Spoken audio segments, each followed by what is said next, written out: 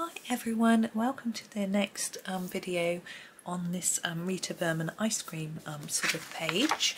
Um, it is from her summer book and uh, we did this one yesterday. So if you missed that video um, you can look at at the end go back and find it. But we're going to be doing this one today and we have um, three scoops of ice cream in a cone so I'm going to start with a cone. Now I think it's easier with a cone like this to start with a pale colour, go over it all and then add in some darker areas for where we think shadows might be. So I'm going to start with number 16. It is quite a pale goldy yellow but that's I think this cone would be quite pale. There are different types of cones, um, the sort of waffle cones and the sort of more cheaper normal cones. Now, I don't know what you have in the country that you are in, but in the UK, the waffle cones tend to be at the more expensive ice cream parlours. Um, and the, the ice cream man that comes to the door um, and comes to the street in his van tends to have the cheaper cones and this is what I think this looks more like although it's this sort of triple cone which is interesting so that's my base it's really simple but I'm now going to just do some shaping on the cone with this colour so I think it would be darker here on the edge. If we do it darker here and then just gently oops bring that colour in and fade it we can just make it look a little bit more rounded than um, it perhaps looks from the drawing. Obviously unless you draw in shade on or shadow on your picture you can't really emphasize the shape. If we make it a little bit darker on the edge it makes it look a little bit more round because it's not a flat two-dimensional object is it? We can just fool the eye to thinking it's a little bit more three-dimensional. Sorry you're slightly sliding out of, out of shot. There we go. But now I'm thinking that each of these, this is, these are on top and this is slightly behind is what I'm thinking. So I want to emphasize that. So I'm going to use the next darkest color, which is 49 and just put in some shadows along this line here. Try and get it to show up. All the way around each of the little squares to try to make it look like those bits are slightly raised because these sort, sorts of cones tend to have a texture.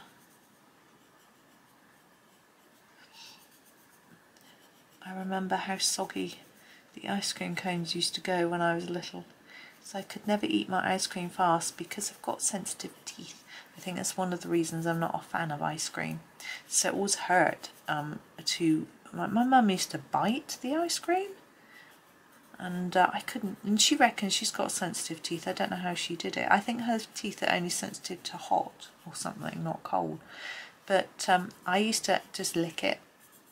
My tongue would go numb and uh, I just it would all dribble and make a big mess and the cone would go all soggy. So uh, I used to prefer um, to have a tub of ice cream with a spoon. You can eat it more slowly because uh, it doesn't it's not going to dribble anywhere and uh, it was much easier. But when I was young, I was never allowed a tub off the ice cream man because it was more expensive.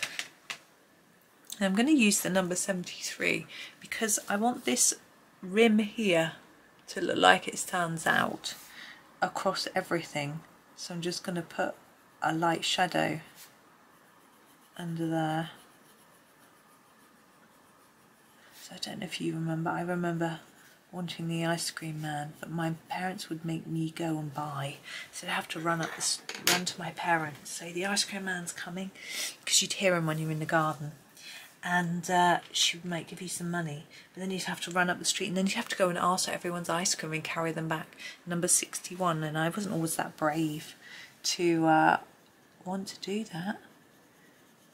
So I'm going to make this one a sort of cherry, so it's quite dark, but I'm going to fade it. Um, I'm thinking it would be darker on the edges.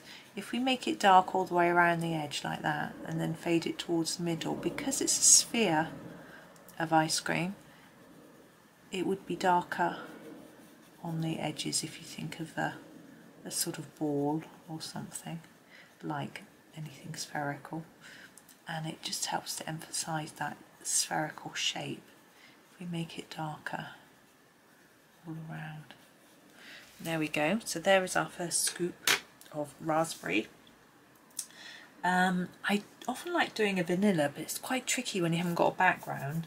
I think we'll try it. We use our lemony yellow which is number 10 and we do it on this center one and we'll just see if we can get it to show up.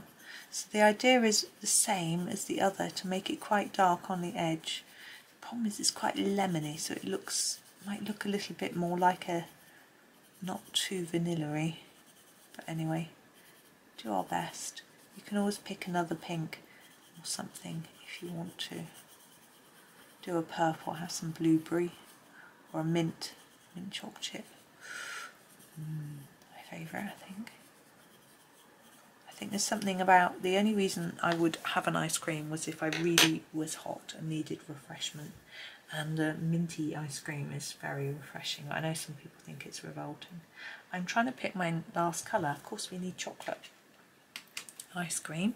So number 76, I say of course. Yeah. Don't know if everyone likes chocolate ice cream. I'm going to do it the same as I did this one. So a lot darker on the edges. This is actually how I did the middle one, but just can't see because it's of the colour. Just going to try and fade it a little bit, try and avoid all the sprinkles. We'll have some fun with those in a minute.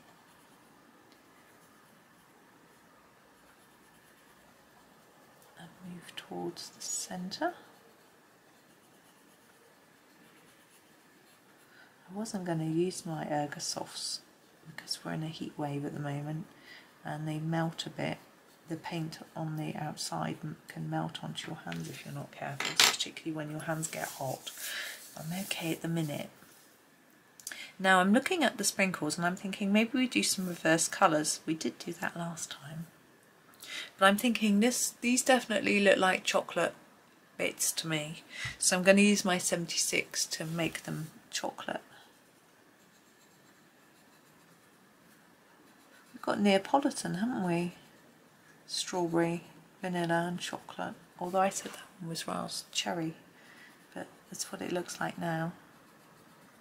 And then maybe we'll do some um, cherry dots on the chocolate one, so number 61.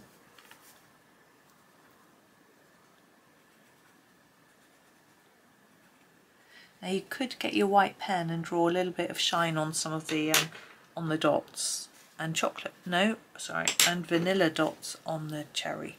So number 10. But it won't show up on the on the yellow. But I don't think I'm going to worry. I think I'm going to leave it like that. It's quite plain and simple. Now we do have a couple of triangles here and here. I'm wondering whether to do those in my chocolate colour. But they actually go across the whole page. There's some at the bottom as well. So I think I'm going to leave it because there's triangles on this shape and things like that so I'm just going to leave it for now. And, uh, and we'll worry about those at the end. But there is our ice cream cone. Um, it was quite a short video actually but um, I am only going to be doing one item per day so uh, they may be shorter videos um, for now but uh, that's okay. It's too hot for me to be too long in this room and so uh, hopefully it'll be alright for you anyway. But thank you so much for watching. Um, I hope that you have a really lovely day. Um, stay cool and happy colouring.